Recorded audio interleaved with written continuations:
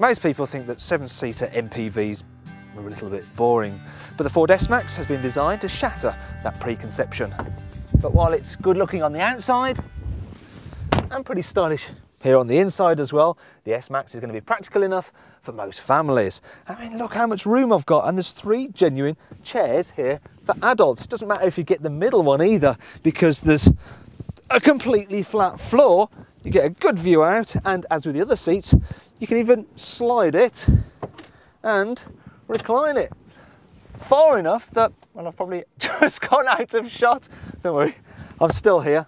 And let's go check out the front.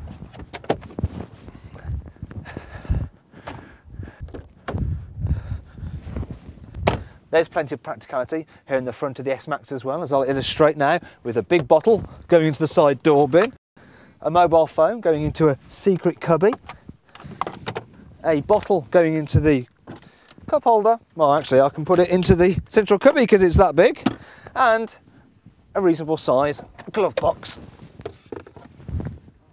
As for quality, well, there's lots of nice soft touch materials here in the cabin.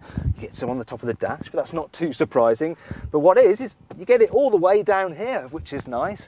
Standard equipment is impressive as well. All cars get Bluetooth for your mobile phone, dual zone climate control, and all round parking sensors. There's lots of safety kit as well, including an airbag for the driver's knee.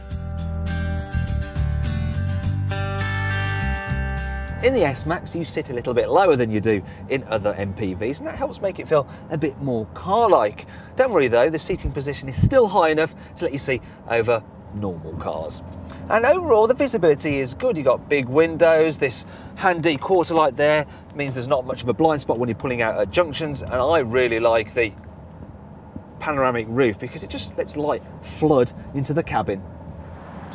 The best thing about the S-Max though is the way it drives because it handles way better than any other MPV. In fact, it, it's genuinely good fun and I'm not lying at all, it is.